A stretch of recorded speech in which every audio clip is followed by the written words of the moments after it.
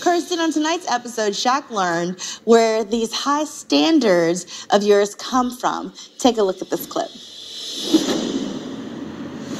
Yeah, and speaking of providing, it kind of goes back to like how my dad provided for us. Like, he provided a home for me and my mom and my sister and brother. Like, so that's why sometimes you may feel like I'm putting like a lot of expectations on you, but that's what I see my dad as. When I meet your dad, I'm gonna be taking notes.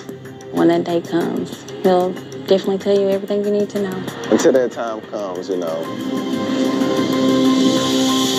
You still haven't let him meet your dad yet. I know. I still, it's taking time, Okay. you know, because my dad didn't attend the wedding and he's always working. And I didn't want to take him to my dad's shop to meet him because I want them to have like a more intimate setting and sit down and So talk to each you other. more, I'm just curious, do you realize that he's frustrated having not met your dad? I don't understand how he's so frustrated because it's like I'm telling him and I'm trying to make things happen for him to meet my dad. Like sometimes my dad was out of town, like when I would want them to meet, or like he wasn't available. So I did take initiative several times for Shaquille to meet my dad, and it just didn't happen. And I can only do so much as a person to get that organized for them to sit down and meet each other because I really wanted to be intentional and I really wanted to him to have the moment to have certain conversations and Are ask all the afraid questions. of what your dad may think of Shaq? Mm-mm, I'm not afraid at all of what my dad may think of Shaq. I feel like the most important thing is them having that relationship. Sometimes it's just